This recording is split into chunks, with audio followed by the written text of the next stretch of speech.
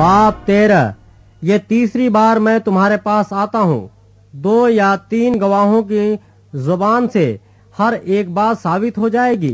जैसे मैंने जब दूसरी दफ़ा हाजिर था तो पहले से कह दिया था, वैसे ही अब गैर हाजिरी में भी उन लोगों से जिन्होंने पेशतर गुनाह किए हैं और सब लोगों से पहले से कह देता हूँ कि अगर फिर आऊँगा तो दरगुजर न करूँगा, क्योंकि तुम इसकी दलील चाहते हो। कि मसीह मुझमें बोलता है और वो तुम्हारे वास्ते कमज़ोर नहीं, बल्कि तुम में जोरावर है।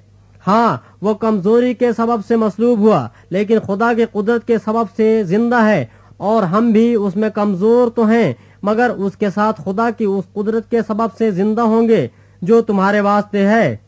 तुम अपने आप को आजमाओ कि ईमान पर हो या नहीं। अपने आप को जांचो, क्या तुम अपनी बाबत ये नहीं जानते कि यीशु मसीह तुम में है, वरना तुम नामकबूल हो। लेकिन मैं उम्मीद करता हूँ कि तुम मालूम कर लोगे कि हम तो नामकबूल नहीं, और हम खुदा से दुआ करते हैं कि तुम कुछ बदी ना करो। न इस वास्ते कि हम मकबूल मालूम हो, बल्कि इस वास्ते कि तुम नेकी करो, चाहे हम नामकबूल ही ठहरे, क्योंकि हम हक के बरखिलाफ कुछ नहीं कर सकते, मगर सिर्फ़ हक के लिए कर सकते हैं। जब हम कमज़ोर हैं और तुम जोरावर हो तो हम खुश हैं और ये दुआ भी करते हैं कि तुम कामिल बनो।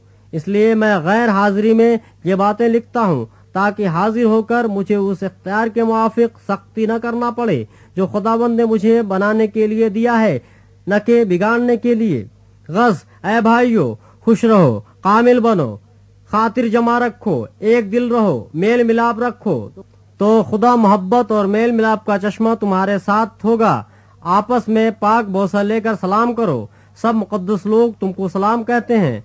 खुदावंद यीशु मसीह का फजल और खुदा की मोहब्बत और रूहुल कुस की शराकत तुम सबके साथ होती रहे।